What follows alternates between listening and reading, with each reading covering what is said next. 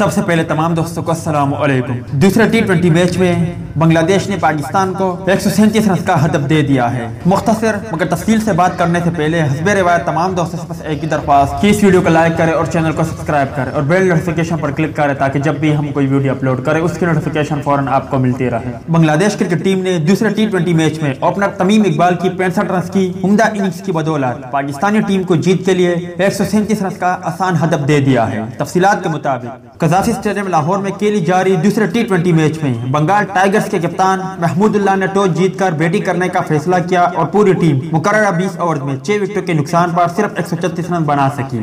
شاہن شاہ افریدی نے پاکستان کو ابتدا میں کامیابی دلا دی اور بنگلہ دیش ٹیم کے اوپننگ بلے باز محمد نعیم صرف پانچ کے مجبوری رنز پر کوئی سکور بنائے۔ وکٹوں کے پیچھے محمد رضوان کے ہاتھوں کینچ آؤٹ ہو گئی بنگلہ دیش کی دوسری وکٹ بائیس کے مجبوری سکور پر اس وقت گری جب مہدی حسن، محمد اسنین کی گیند پر شاٹ لگانے کی کوشش میں محمد رضوان کے ہاتھوں کینچ آؤٹ ہو گئے۔ انہوں نے نو رن بنائے۔ بنگلہ دیش کے تیسرے آؤٹ ہونے والے کھلاڑی لٹن داس تھے، جنہیں شاداب خان نے صرف آٹھ کے انفرادی سکور پر ایل بی ڈبلیو آؤٹ کر کے پویلن کی راہ دکھائی۔ بنگال ٹائیگر کو چوتھا جھٹکا محمد اسنین نے اس وقت دیا، جب سیٹ بیٹسمین عفیف حسین چھیاسی کے مجموعی سکور پر اکیس رن بنا کر چکر لگانے کی کوشش میں حارث روب کے ہاتھوں کینچ آؤٹ ہو گئے۔ ایک جانب وقفے وقفے سے وکٹیں گرنے کا سلسلہ جاری رہا، تو دوسری جانب تمیم اقبال نے انتہائی ذمہ دارانہ عمدہ اننگز کھیلتے ہوئے حریف ٹیم کو اچھا ہدف دینے میں کلیدی کردار ادا کیا اور ترپن گیندوں پر ایک چھکے اور سات چوکوں کی مدد سے پینسٹھ رن بنا کر اماد وسیم کی تھرو پر رن آؤٹ ہوئے۔ بنگلہ دیش کی ساتویں وکٹ ایک سو چوبیس کے مجموعی سکور پر گری اور کپتان محمود اللہ بارہ رن بنا کر حارث روب کی گیند پر کلین بولڈ ہو گئے۔ پاکستان کی جانب سے تمام بالر نے مجموعی طور پر اچھی کارکردگی کا مظاہرہ کیا۔ تاہم محمد حسنین سب سے کامیاب بالر ثابت ہوئی جنہوں نے چار اوور میں بیس رنز کے عوض دو کھلاڑیوں کو پویلن کی راہ دکھائی جبکہ شانشاہ افریدی شاداب خان اور حارث روب نے ایک ایک وکٹ حاصل کی۔